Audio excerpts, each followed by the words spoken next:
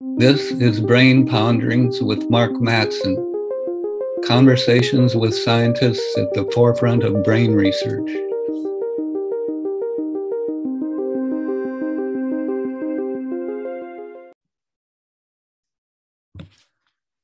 Well, it's my pleasure today in this episode to talk uh, with Art Kramer.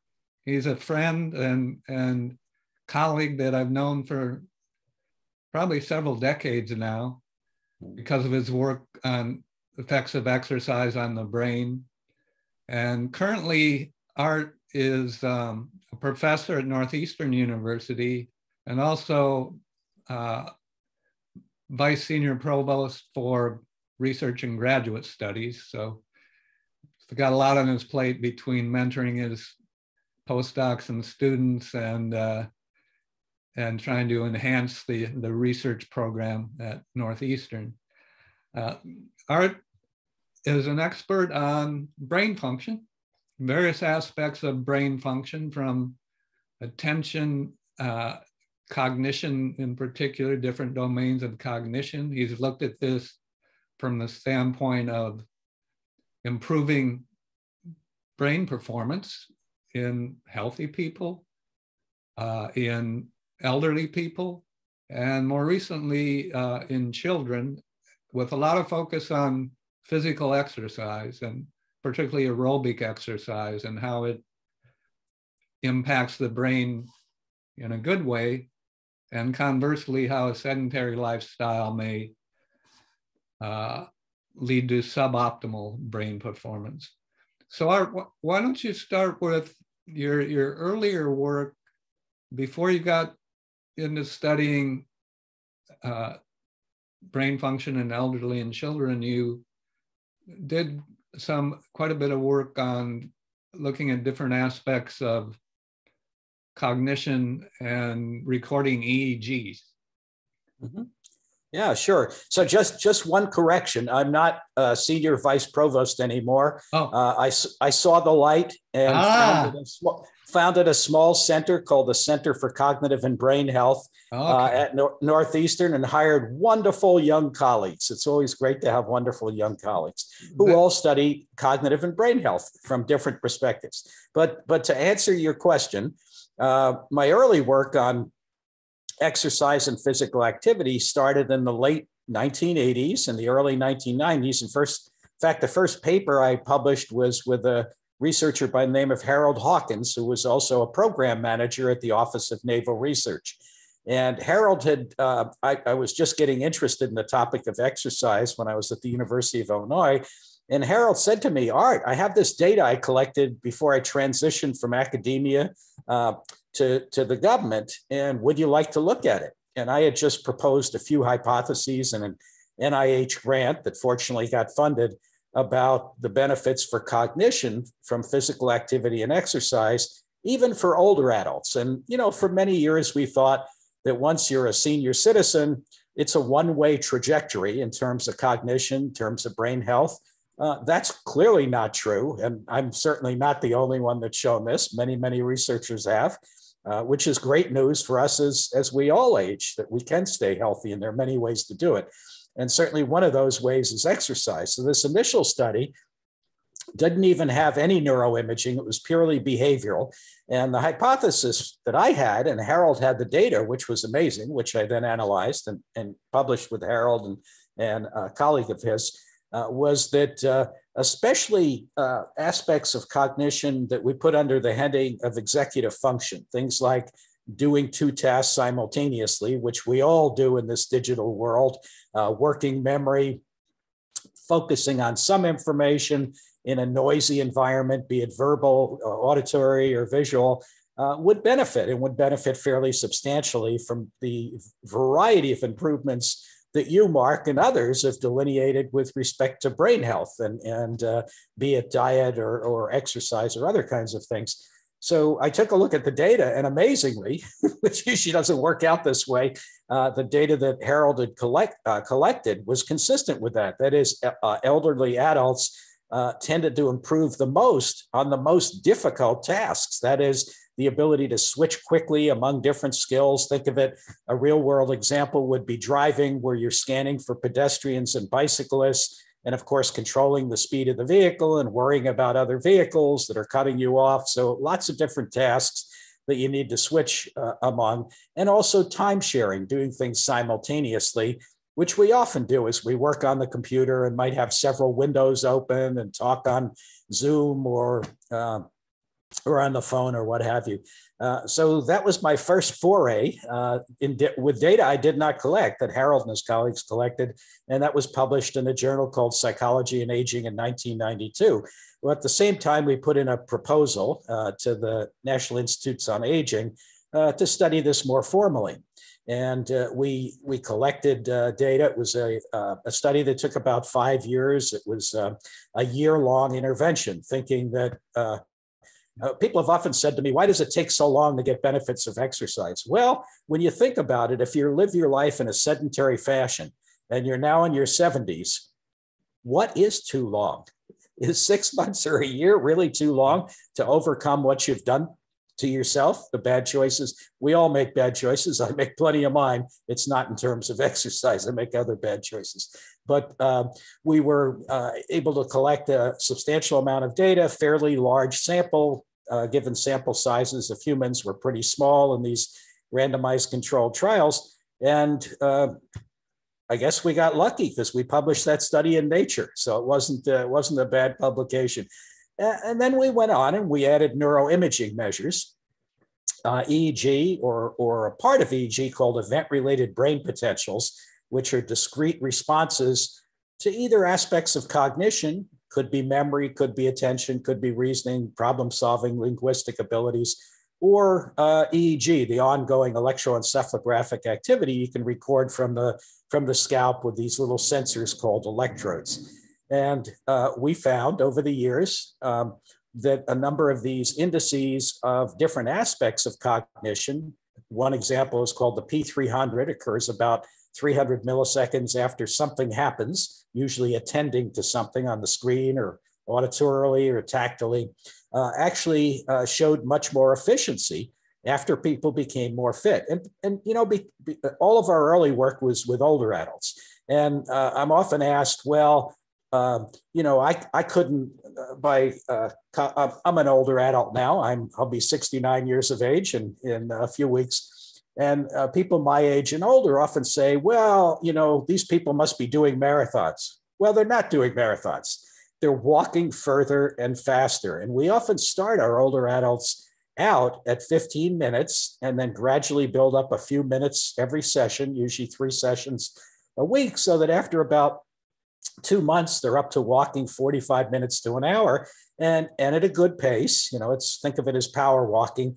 And most of these folks have never done this in their life, and they're starting in their 70s and, and their 80s. And um, as a result of these, these changes, you see neuroelectric as well as other neuroimaging measures of increased brain efficiency.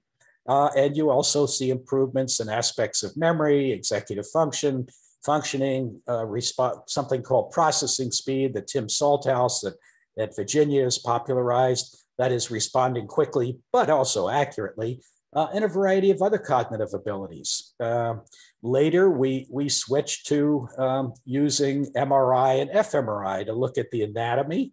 To the extent we can do that, of course, we don't have the resolution that you would have in animal research because none of our subjects has ever volunteered for the histology.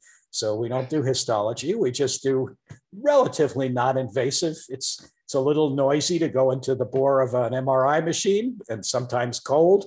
So we give people blankets, uh, but we also show changes, which is pretty remarkable in the anatomy, often the volume or the integrity of the interconnections among different brain regions, that is uh, the white matter, the axons.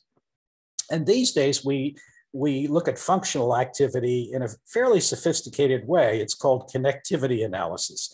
And essentially, what it allows us to do is look at how different regions of the brain coordinate and communicate with each other as you're trying to remember a string of words or trying to reason uh, about uh, the various attributes you might consider in buying a new automobile or buying a condo or a home or, or what have you.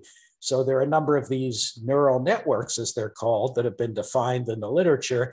And we can find more efficiency, more connectivity, because interestingly, we know that as we age, the connectivity of these networks tends to decrease. This also happens in various pathologies. And as a function of exercise, the connectivity actually increases. And those increases in connectivity predict better aspects of cognition. So there's a relationship between structure, integrity of white matter, often volume of gray matter, connectivity, so that different regions communicate more effectively, and, and cognition. And occasionally, uh, because I'm never satisfied with just the laboratory tasks, they tend to be very focused, which is great because we can study aspects, different aspects of cognition. But I, I'm always left wondering does any of this relate to the real world? Uh, how, how do we know whether there are benefits to translate uh, for people in their lives, not just for scientists in their labs, these pretty pictures of, of, of brain networks and so forth. So we've often done a number of uh, real world tasks. Uh, I've been involved in virtual reality for more than a few years and continue to do that. So we simulate situations that would be completely unethical to do in the real world. One of these simulations was having people cross streets, and uh, we make it really, really challenging. Uh, being somebody who got run over by two cars, I can tell you, you don't want to get hit by cars. But in the virtual reality, uh, you can run people over. The screen can turn blood red, and you can make it challenging such that you ask them to do things we do anyway, not smart things, but things we do, like talk on the cell phone or uh, do other things that are distracting and not paying attention to the traffic in a city like Boston that has lots of pedestrian vehicle accidents every year, Boston and Cambridge. Unfortunately, other cities do too in the United States and elsewhere. Uh, and what we found is that by requiring people to do this multitasking, either listen to music, which people do as they're walking down the street and crossing streets, uh, or talking to someone else. It could be a spouse, a partner for children, because we've now done a lot of work with young children. It could be their mom or dad.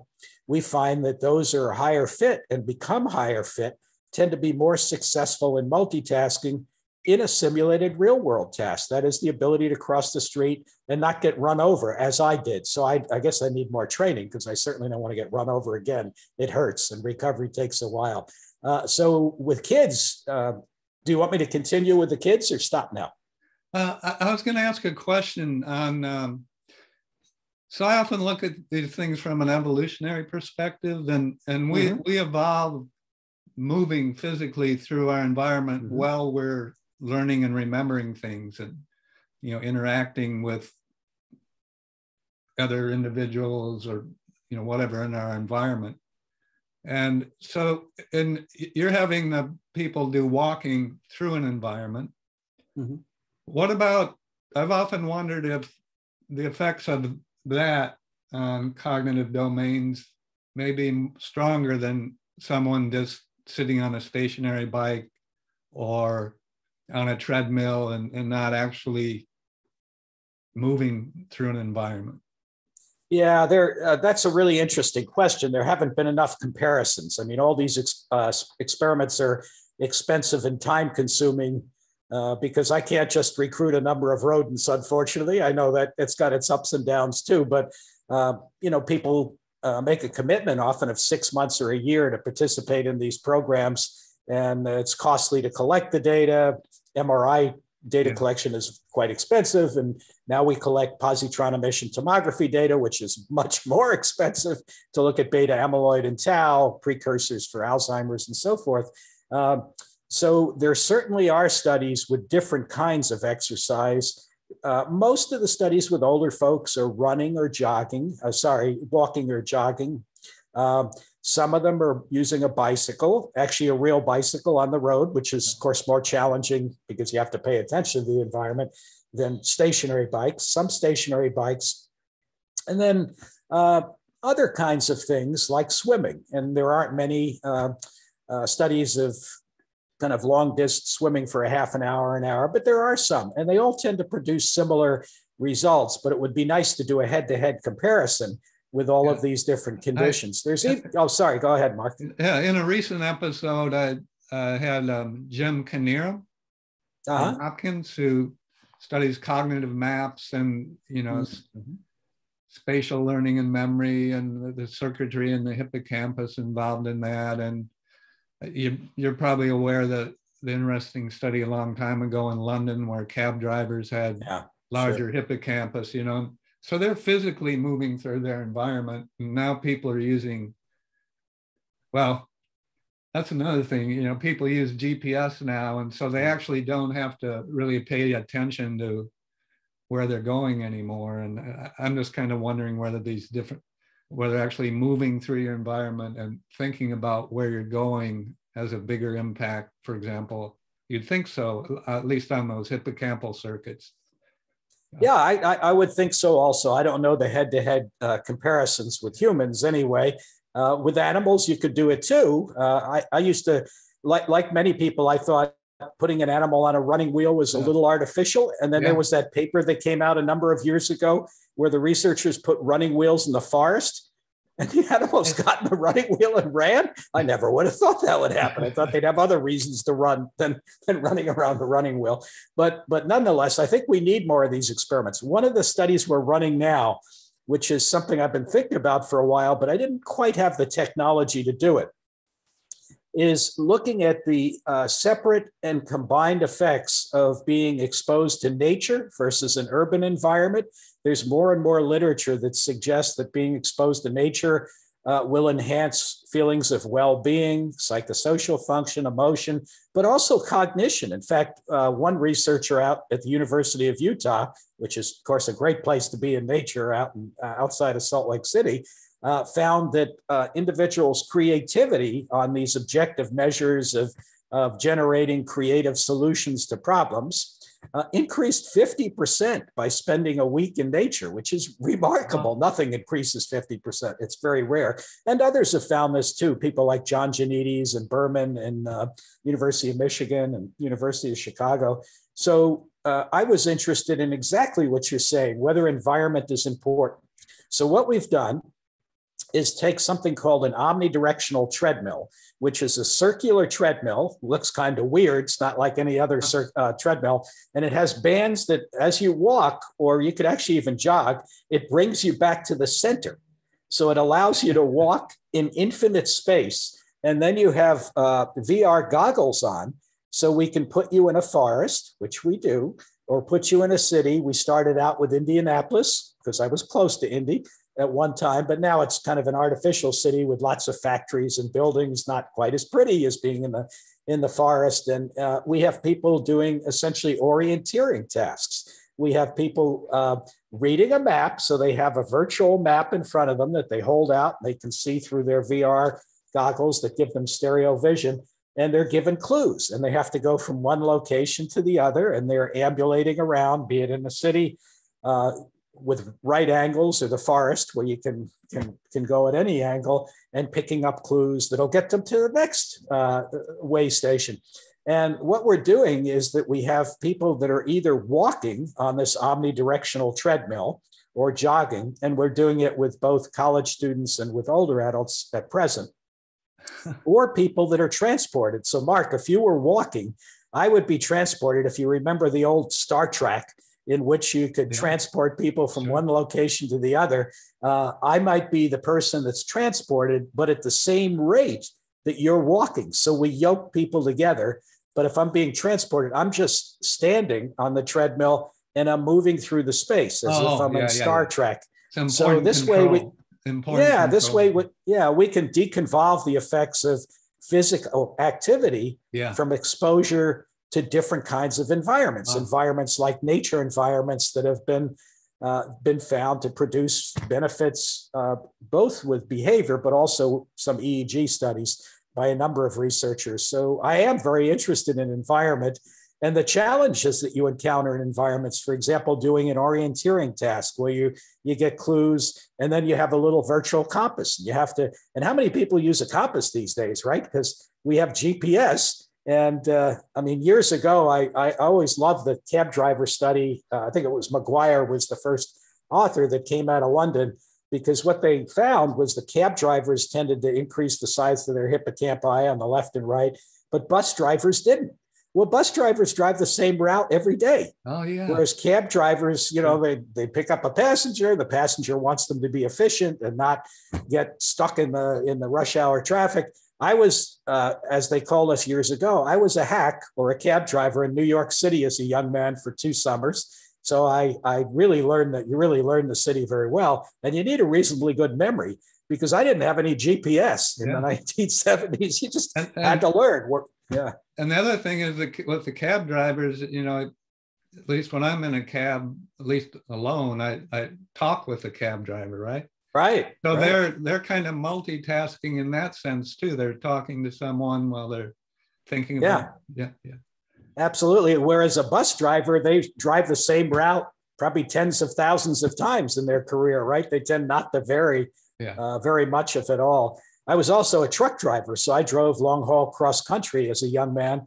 That's oh, the way I supported myself through college. I lived in New York and drove out to California, drove down to Florida, and and there you're dealing with so many factors. And you know, being a truck driver, you're not always in the best of shape. But the kind of truck driver I was, uh, I did household moving.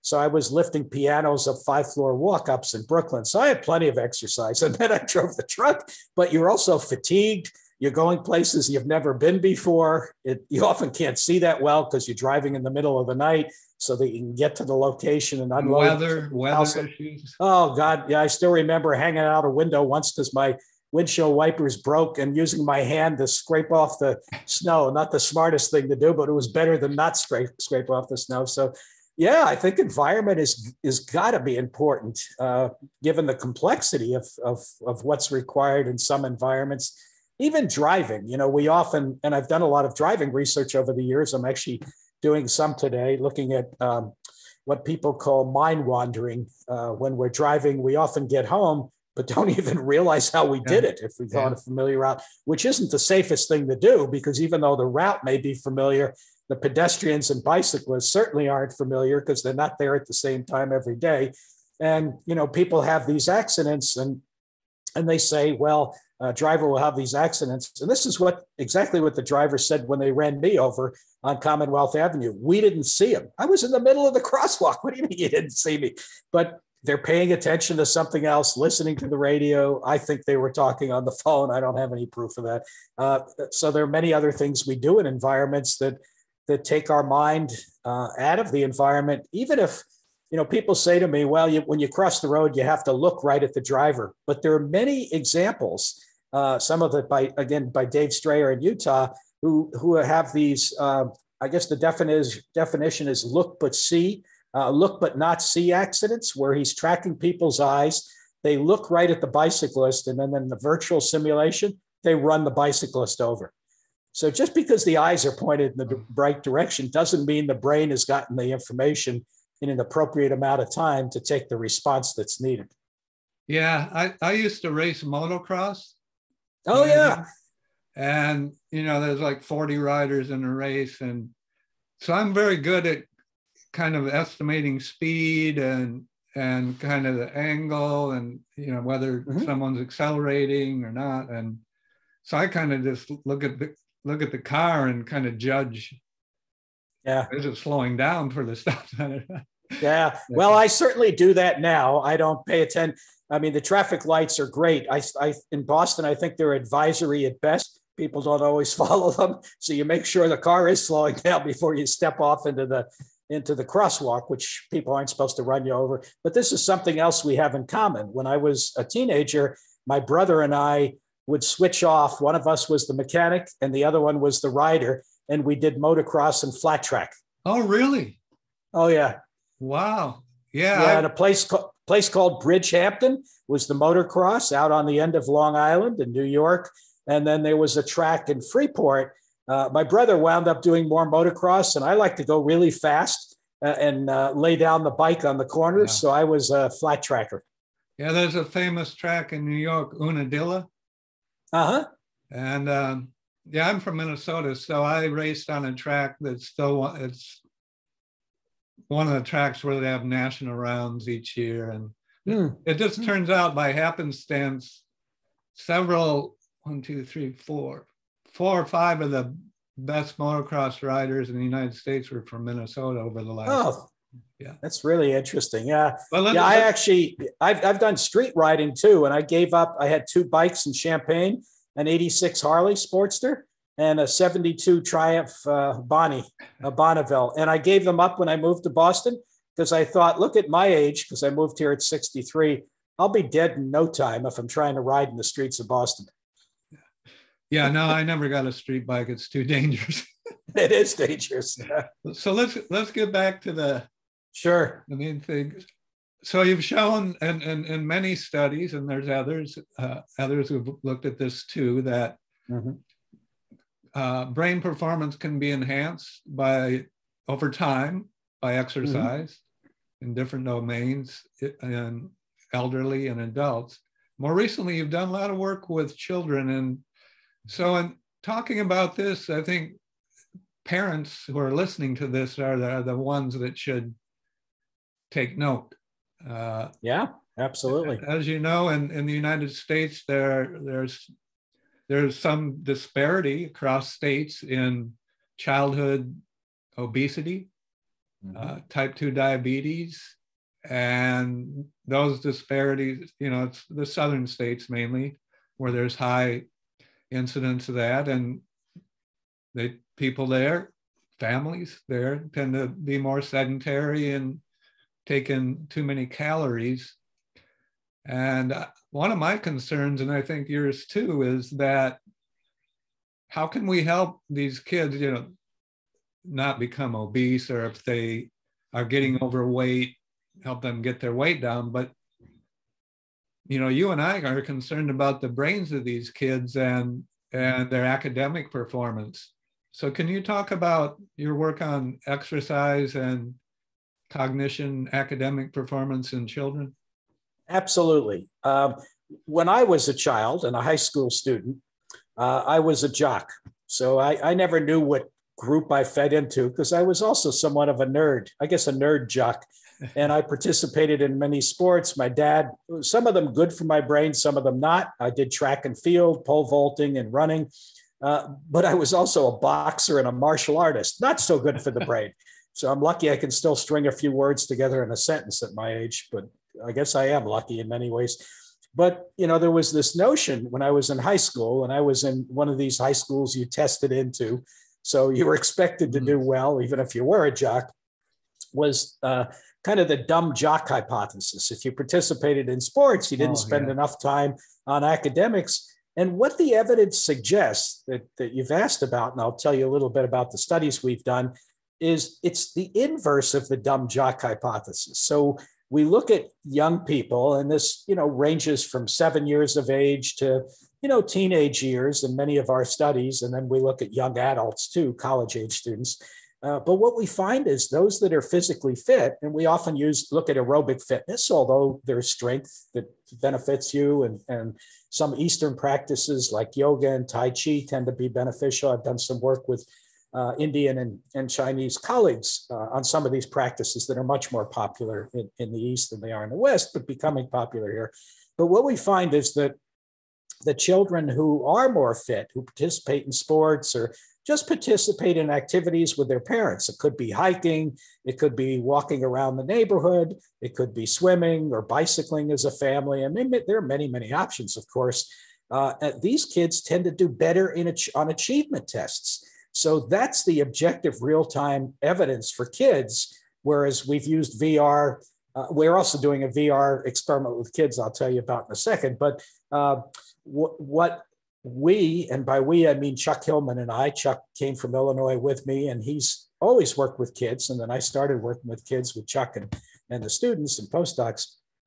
What we found is that not only do, do you see cognitive benefits on these um, computerized cognitive tasks, not only do you see uh, benefits in EEG in terms of timing and, and uh, resolution of various components, or even in terms of connectivity, because uh, we use MRI and fMRI with children uh, these days. Uh, but you find real world, real world benefits, and most of our real world associations are performance and standardized academic tasks that the kids who uh, go through these training programs and uh, there have been a number of them that have been funded by NIH called Fit Kids 1, 2, and so forth.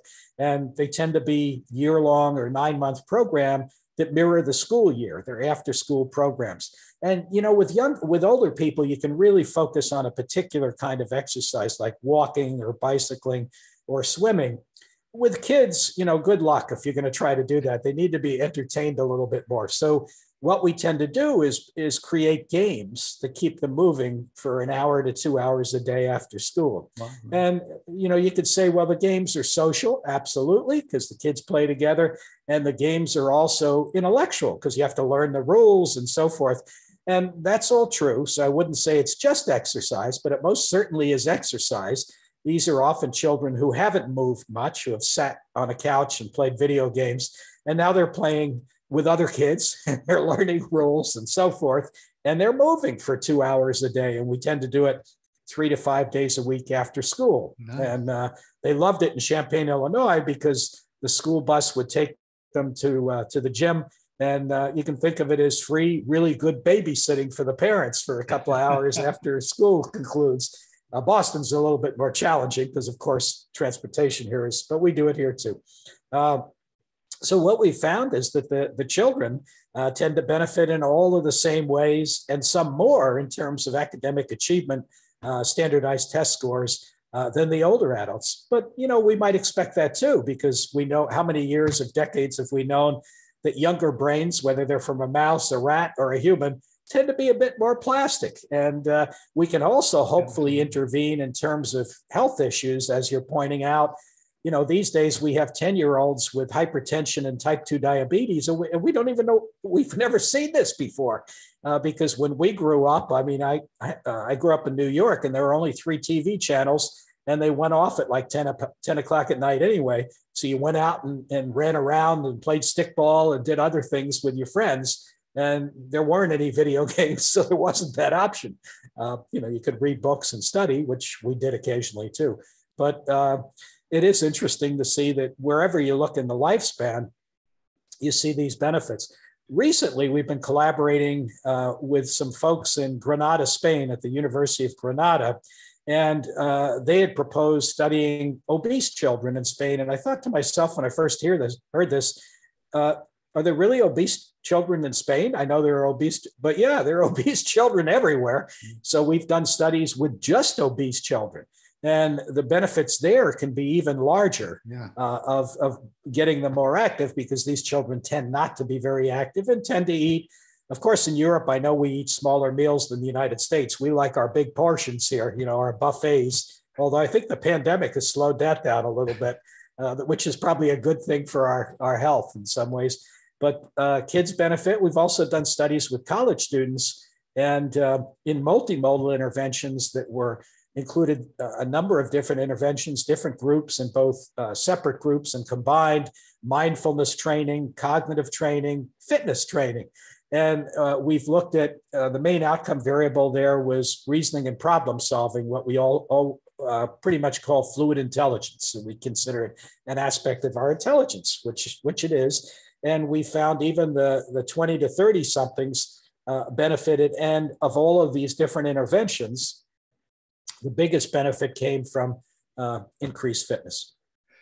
So, Art, going back to the the studies where you you have the children, you know, and they do these games for an hour or 2 mm-hmm. after school, and you mentioned you look at aerobic fitness, VO2 max, essentially. Yes, we do. Right. Yeah. And so with it, within, and you mentioned, well, there's also social interactions and mm-hmm. cognitive. Uh, within a group of of kids, is there a correlation between VO2 max and performance? Because that would kind of argue that there's an exercise effect that's at least somewhat independent of social interactions or. Absolutely. And we don't always find that but we usually find that with both children and with older adults. We had a paper in pnas back a number of years ago in 2011 i think where we found a nice correlation between older adults uh, in terms of improvement in VO2 max, the gold standard for cardiorespiratory fitness, and uh, spatial memory, something that would tap hippocampus and also hippocampal volume uh, in, in the older adults. So you often find these correlations. You know, there's, there's a lot of noise. I remember when I first started doing these studies with humans, uh, and I thought to myself, you know, even if these effects exist, will I be able to see them? Will I have the sensitivity in the experimental designs to see them? And I also remember uh, one of our colleagues, Carl Cotman, years ago telling me, Oh, Art, this is great. This human stuff is great. I, I'm going to do some human studies. And I said, Carl, watch what you wish for, because with your rodents, you control their life. You even control their genome. Right. I control virtually nothing. Yeah. You know, I have people, the older adults come into the gym three three days a week for like an hour, hour and 15 minutes. You control the rodents' lives. I can do a, only a minimal amount for people, and uh, I can't control their genetics either. I don't control any of that. And what they what they do when they leave me, uh, you can feed the animals appropriate diets if you're interested in high fat versus low fat. If, like you, Mark, you're interested in caloric restriction, you can do that. I can't do any of that. Yeah. All I can do is ask them to come in and uh, teach them how to how to do their uh, blood pressure and their heart rate, and ask them to do it within a, an appropriate range given where they're at. So there's got to be so much noise in this human data, yeah. just because they've lived their lives and we don't control anything about them. And we've also found some some funny things. For example, we wrote a paper a number of years ago, and we've also we've told the participants in our studies, look, you can't do anything wrong you might be in this group and you might be in the control group, which is often toning and stretching, or you might be in the aerobic group, the walking group, the swimming group, the bicycling group, whatever. Uh, but uh, you know, you can't do anything wrong in the study. So we asked them to keep a diary of the things they did outside uh, of the experiment, outside of the gym, outside of the testing, and so forth. And what we found is that, uh, especially people who had been sedentary for most of their life, got really excited about being physically active. And we had what we'd call crossovers. We had people who were in one group, maybe in the toning and stretching group, and decided, hey, this feels great. I'm going to start walking or bicycling. And, and how can you tell somebody, you know, this goes to the ethics of our research. You can't tell somebody not to do something that we know is good for their health. I mean, we're exploring effects on brain, but we know it's good for the body. We know it's good for uh, all kinds of things down to the molecular biology, the mitochondria, the telomeres, on and on and on.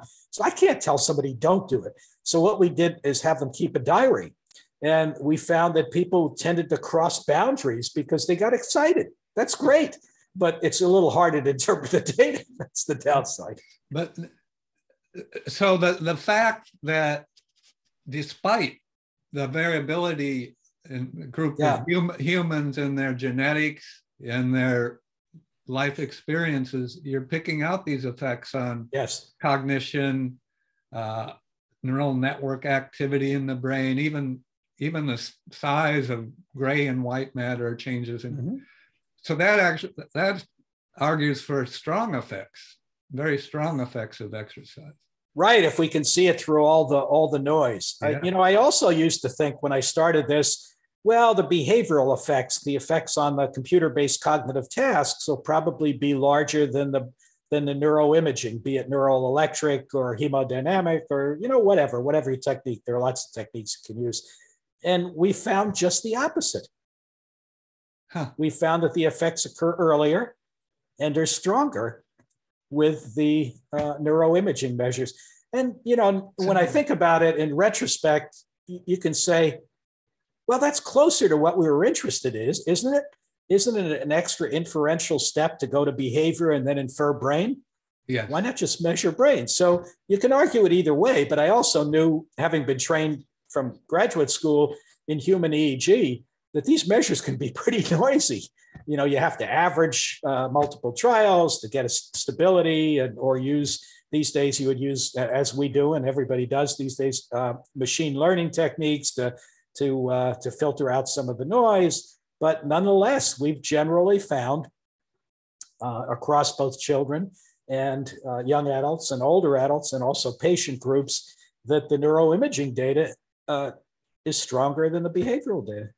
But then, then you think about the behavioral data, and you know that's got its weaknesses too. We, we may have tests that tap memory, I've always thought of the water, water uh, Morris water maze, which I know you and others have used, as really a dirty test of memory in a way, because it, it measures memory, but the animals are more than a little stressed when you try to drown them. I know you're not trying to drown them, but they might think you're trying to drown them. Who knows?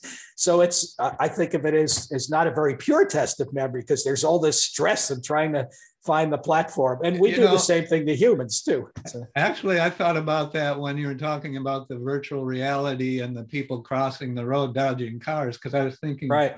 I wonder if they have a stress response during that. Yeah, it's interesting because uh, that street crossing task, which we uh, designed and implemented at the University of Illinois, we had a very good VR group, and I've been working with them for many years, and I, I continue to do some VR work. I, I was a little concerned about uh, whether older folks, I thought kids would get right into it and it yeah. would be a video game. Okay, because that's how they grew up. But people in their 70s and 80s, and even us, uh, you know, we, we played pinball, but we didn't play video games when we were young because it didn't exist. Uh, and the interesting thing is the uh, it, it's just observational, but we found uh, we didn't have a harness at first that people wore when they were on the treadmill because we had the handles, you know, that you would have on a treadmill in a gym. But our treadmill. So, so you uh, mean was, you, you weren't measuring heart rate? Is that what you're saying? No, no, no, no. I, I meant we didn't take enough safety precautions. Uh, I, I, wasn't worried about people falling off the treadmill because they could hold on to it as they were oh. walking. Oh, yeah. Uh, and uh, fortunately, uh, no harm, no foul. Uh, the woman didn't get hurt, but an 80 year old woman was so scared when she was crossing the street on the treadmill in the VR facility, she jumped off the back and fell down. We're lucky she didn't get hurt, but but I never would have thought that.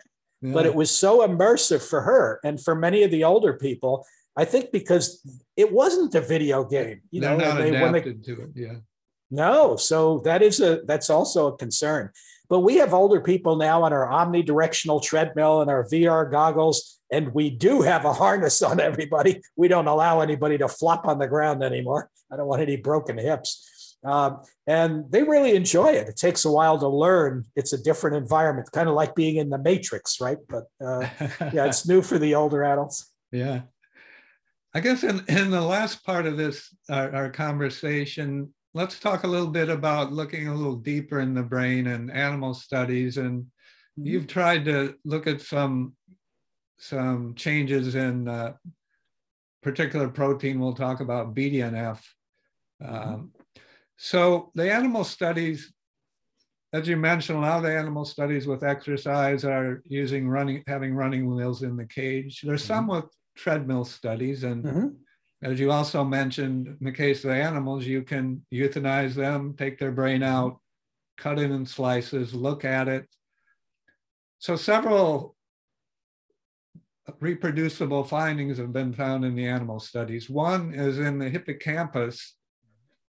Uh, in this one particular part of the hippocampus, there are stem cells that can give rise to new neurons. And the exercise has a robust effect in increasing mm-hmm. the, the production and incorporation in the neural networks of mm-hmm. uh, the, the stimulated stem cells. Another effect of exercise is in strengthening synaptic connections mm-hmm. between neurons, and that's measured by actually putting electrodes in a mm-hmm presynaptic neuron or a stimulatory stimulated electrode in a presynaptic neuron, uh, recording electrode in a postsynaptic neuron, and simply measuring the strength of the postsynaptic response. Mm-hmm. So there's some evidence for strengthening and maybe even increasing synapse numbers, mm-hmm. at least in the hippocampus.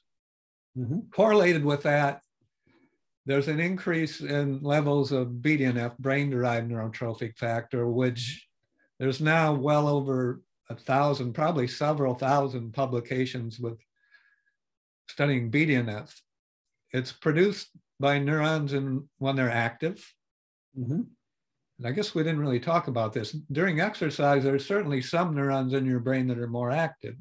Mm-hmm. Actually, many neurons, not just mm-hmm. neurons mm-hmm. in the sensory motor system, but right if you're moving through the environment, definitely neurons in the hippocampus, mm-hmm. where, where most of these effects of exercise have been studied in animals. Mm-hmm. And um, so BDNF increases robustly with exercise in animals. BDNF is known to play an important role in learning and memory, an mm-hmm. important role in promoting the maintenance and formation of new synaptic connections, and also in, in studies we've done in uh, increasing resilience of the neurons, that is, their resistance to stress, which I guess we could also talk about. Uh, sure. Yeah. But um, why don't you talk about your studies uh, measuring BDNF in, in blood samples? Um, yeah. It, it can be measured actually in cerebrospinal fluid if you take a spinal tap. I don't know if that's been done with any exercise studies in humans. Yeah, I, I don't know if uh, CSF has been examined. It is being examined now, of course, for uh, precursors for plaques and tangles, right, for amyloid beta and tau. But I, I don't know that anybody's looked at BDNF with uh, respect to exercise. It's true. We've looked at BDNF and blood and blood biomarkers. I remember when I first started doing this, I think it was Carl Cotman. It could have been Rusty Gage. I don't know. And I told them, they said, Oh, that's going to be so dirty. And I said, I know it's dirty but you, would you volunteer for me to take a little biopsy of your hippocampus so I can look for BDNF there? That's not doable in humans, guys, and you know it. Uh, I mean, oh, there is a Art, technique. Art, called... let me let me interject. It. Oh, it is. Okay. No, it is. It's kind of indirectly possible, and okay. there's something called a liquid biopsy. Ah. There are there are small, very small vesicles, like 50 to 100 nanometers, mm-hmm. in diameter that are released from cell all cells. Uh, and these are called exosomes or extracellular mm-hmm. vesicles. And a colleague of mine at, at NIA, Dimitrios Kapogiannis, him and another guy developed methods where they take an antibody against a protein that's produced mm-hmm. by neurons, but not other cells. Mm-hmm. And then first they isolate all the exosomes from the blood sample. And then they use that antibody to pull hmm. out of that big pool of exosomes those uh, exosomes that they think are coming from neurons. Hmm. And it's and it's actually not a complicated thing. Hmm. So I'll get you in contact with Dimitrios because I think he'd be happy to, be great. to yeah. collaborate with you. You could you probably got bank blood from these people. We, we do have bank we do have bank blood from a, a the largest RCT ever on exercise and aging. Six hundred. Yeah, so he he could he could yeah. you could send him a sample. He could pull out these neuron derived exosomes, and we could you could measure BDNF. He's been looking at insulin resistance. Uh-huh. So he looks at the insulin. There's a protein that associates with the insulin receptor. It's called IRS. Uh-huh. And anyway, he, he's got methods he can kind of tell indirectly tell where there's brain or at least neuronal insulin resistance hmm. by looking at these vesicles, which yeah. is also very relevant to the exercise. Absolutely. Well, that's great to know. That's not something okay. I knew. And and uh, when we write our next large grant and we want another 30 million from NIH, which yeah. we have now, where it would be great to, you know, we do have banked blood. And one of the problems with all the blood we've banked is, you know, there are better and better techniques to get at many analytes these days and to do uh, GWAS and to, to look at uh, precursors for plaques and, and tangles in the blood, but none of them are cheap. So we're still yeah. struggling to get the extra money, the extra funds we need. Yeah. Uh, you know, the, the National Institutes of Health has given us over 35 million to do the study, but it's a huge study. I mean, it's 650 participants at multiple sites, Pittsburgh, Kansas, and Boston. Uh, year-long exercise with positron emission tomography, with CSF, with blood biomarkers, with MR and fMRI, behavior, on and on and on. So it's super thorough. Yeah. And we will be done with that study at the end of this year, which will be really neat. We will All have right. good.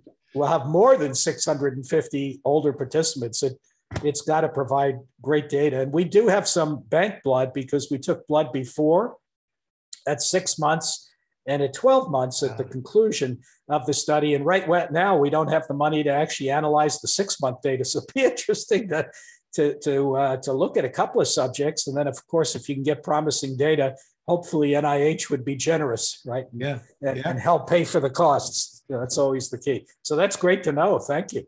So, so that, maybe we can can do a better job, but all of our uh, uh, BDNF, IGF-1, and VEGF has been from blood.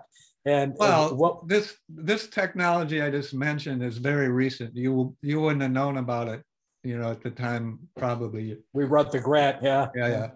So, what did you find with BDNF? We kind of got a little. Absolutely. So uh, we found uh, with BDNF and also IGF-1, another nerve growth oh. factor, that, uh, and we've looked at VEGF too. Uh, we've found that similar kinds of things to what animal researchers find. That is, when you increase uh, fitness through uh, often walking or jogging uh, with our samples, you increase uh, the amount of BDNF that we can extract from the blood. Again, it could be peripheral, could be CNS, a lot of issues here for sure. And those increases in BDNF, we, I have a plot in one of the one of the PowerPoints I, I, uh, I show at talks. Those increases in BDNF are correlated with increases in connectivity in a number of brain networks, which are correlated with improvements in cognition. Wow. So a lot of the same things that you find, what I've been trying to do for years, and of course, our measures are a lot cruder than the measures you can use with animals because of the limitations, of course. Uh, a lot less crude in measuring cognition, but a lot cruder in measuring brain for sure.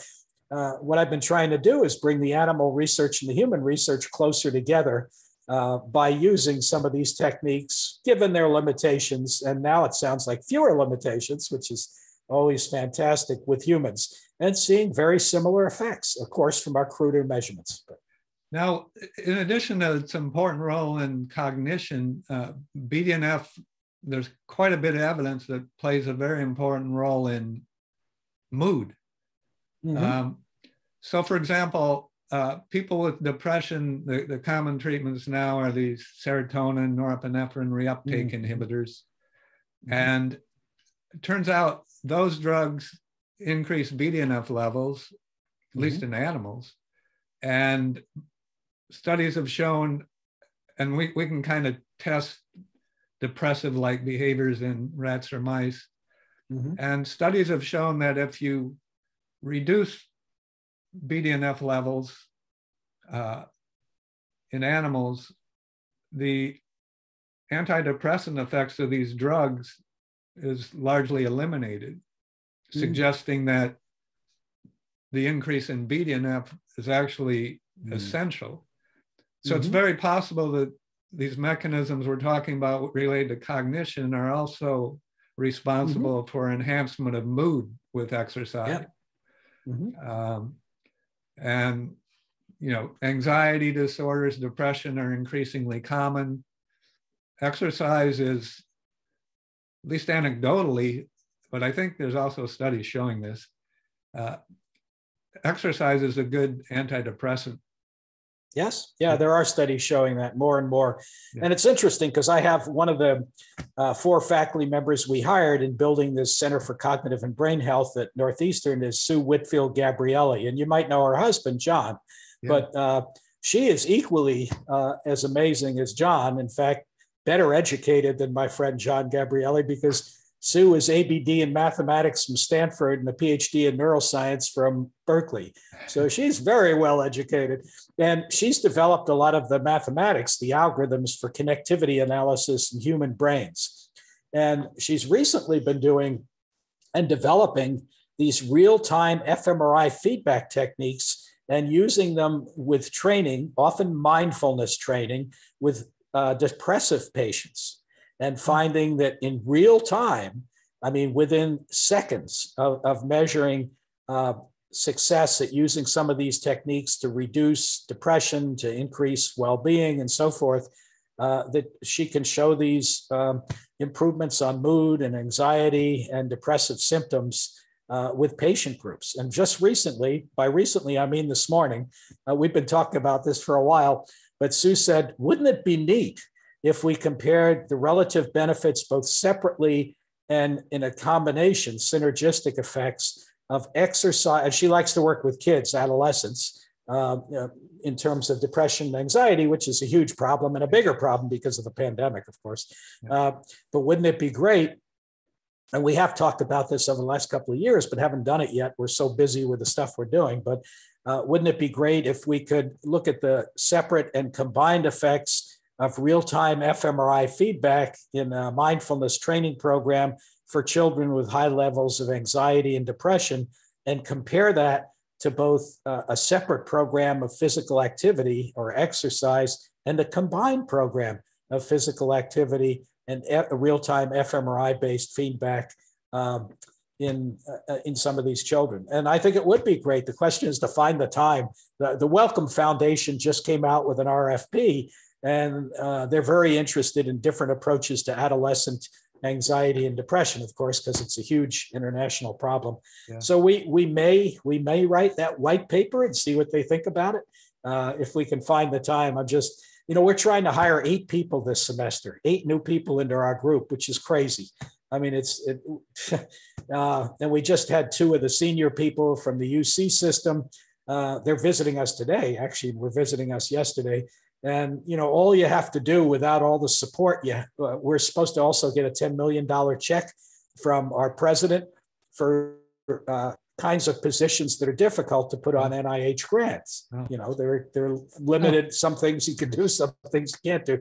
So I'm the director of all this, and all I do these days, I feel like, is write spreadsheets and uh, deal with the accountants, the president's accountants, and then, of course, interview all these people but I think we're going to be able to make six to eight offers, which is I've never done from one search. it's just crazy. Yeah. Um, so we're we're all kind of busy involved in this, but hopefully we can find the time to, you know, to write a, a white paper or letter of intent or whatever you want to call it. I think it would be good to finish up with uh, just uh, your thoughts on the the healthcare system and and how how do we get to improve the the fitness and you know whole body and brain health particularly of children but also adults given the kind of the way the system set up is you know a patient develops some you know indicators that they're likely to develop type 2 diabetes. So for example they're getting to be overweight insulin resistant. And there's no real mechanisms to get these people to, to adopt a better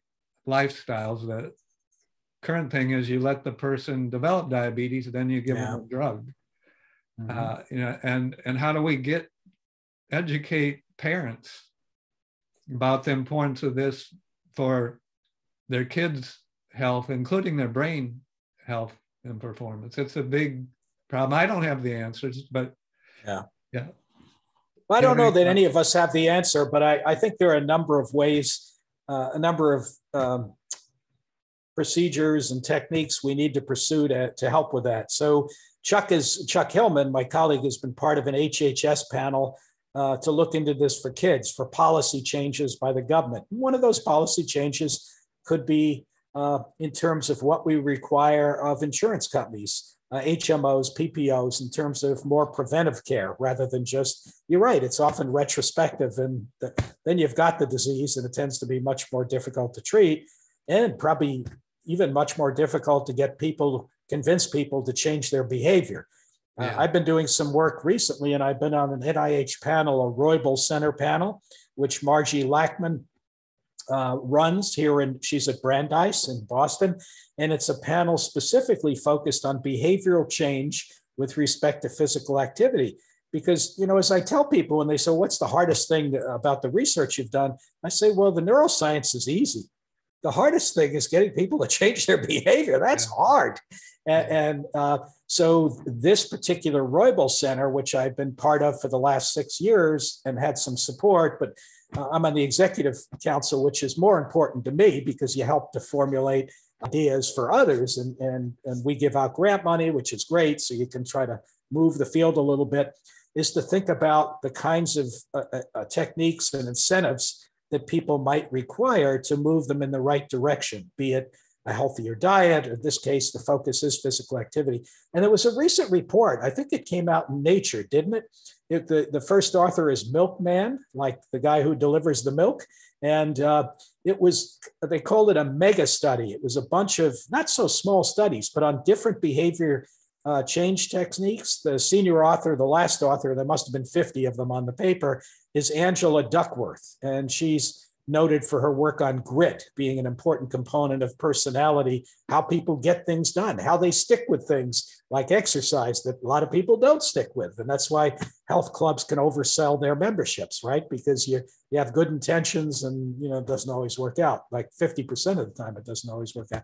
So she and her colleagues, the 50 scientists there, did uh, uh, studies where they looked at monetary incentives. They looked at social support. They looked at digital nudges that you can get on your smartphone. Yeah. And they rank ordered them in terms of the effect on uh, adhering to a protocol over a few months. Uh, these were uh, memberships that people got at health clubs. How often did they go? And the health clubs, you have a little card and you you kind of sign in. So you've got objective data, which is great. Not objective data and how much you walked or what you did, but at least objective data. Did you go to the health club?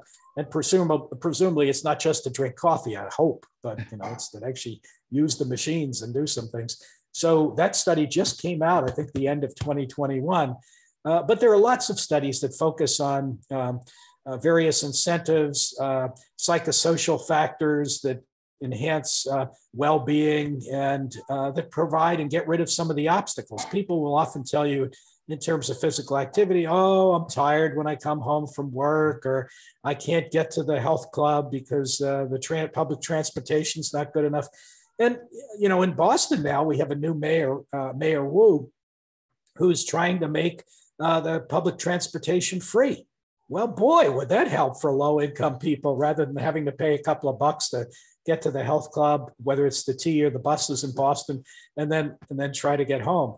So I think there are things we can do, we can all do uh, to change the support structure, to remove the obstacles, to provide incentives uh, for people to become more physically active, uh, provide families with free passes for state and federal uh, uh, recreational areas, forests, so they don't yeah. have to worry about that. Gas is already so expensive. So any obstacles you can get rid of. I think we as scientists need to be better communicators.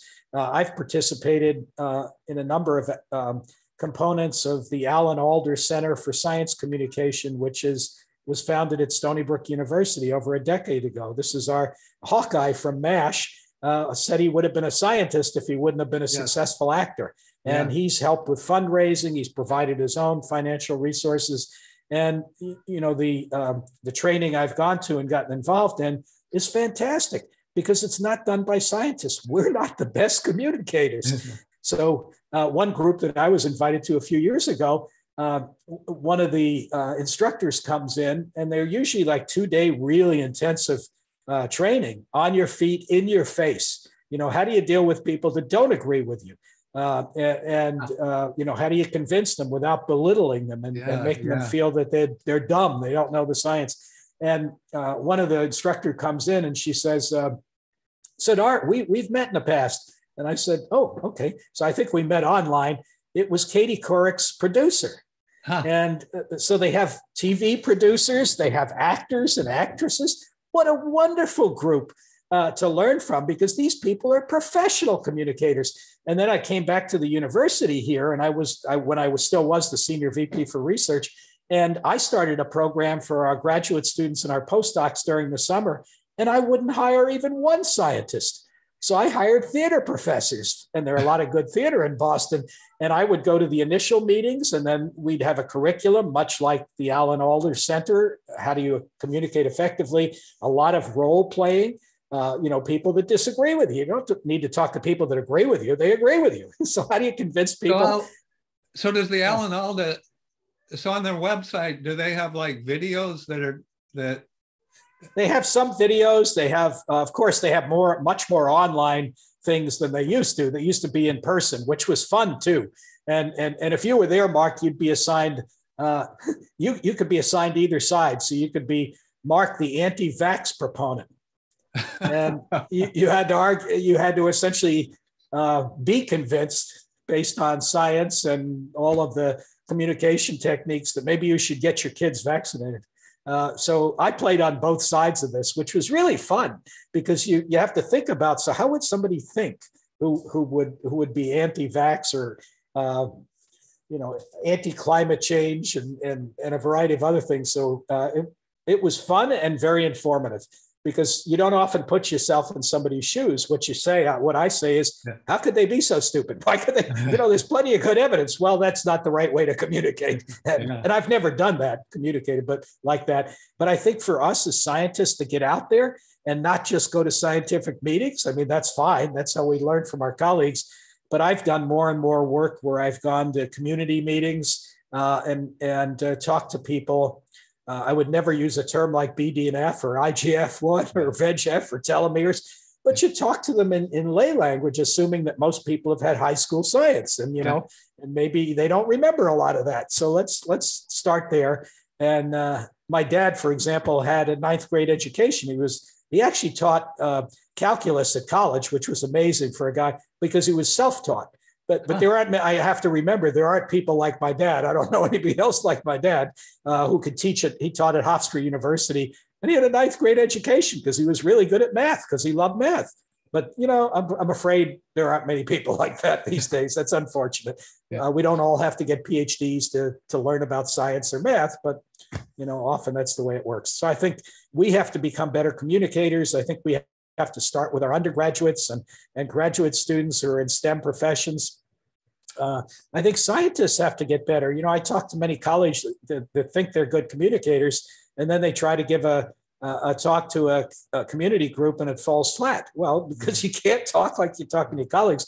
The, my favorite presentation I ever did, it's before I left Illinois, and I was invited up to Chicago to a big uh, assisted living facility and uh, memory clinic for uh, AD, Lewy body, on and on and on, disease patients, hundreds, probably thousands of patients. And I was going to talk to the medical staff. And I get there and I had my nice presentation all put together, you know, that we give to people that are medically trained that know some of the things we know. and they tell me, and uh, they said, well, we've made a slight change.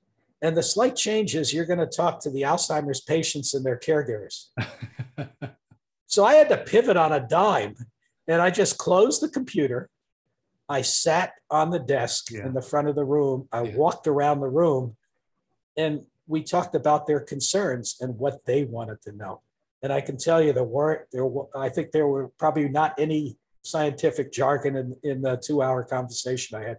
But you know, most of us don't get the opportunity to do that. They actually invited me back. They said you did a great job. I said, I guess I got lucky because you know I I, I would have planned. You know, if, if you talk to a very different group, I, at Northwestern they have a huge Parkinson's clinic, and they had me come there, and I knew I was going to talk to 400 Parkinson's patients. Okay, that was a different kind of talk, and I had never seen all the symptoms of Parkinson's, which are quite varied, in one place because they're they're usually not in one person. But uh, they also had a neurosurgeon talk about deep brain stimulation and stem cell transplants. And about 50 patients came up to me, many in their walkers, a- after the, the, the, talk I gave, which was about exercise. And Parkinson's patients can do exercise too. And there's, yeah. there's evidence there that that can be helpful in many ways dance and, and, and aerobic exercise and so forth. Even non contact boxing has become popular, moving your hands and feet in a, in a coordinated fashion. And these people came up to me afterwards and they said, Well, Professor Kramer, we really enjoyed your presentation. You know, we like listening to the neurosurgeon too, but we, we would prefer to try something else first. yeah, me too. you know, you yeah. sink some electrodes into my brain, guys. yeah.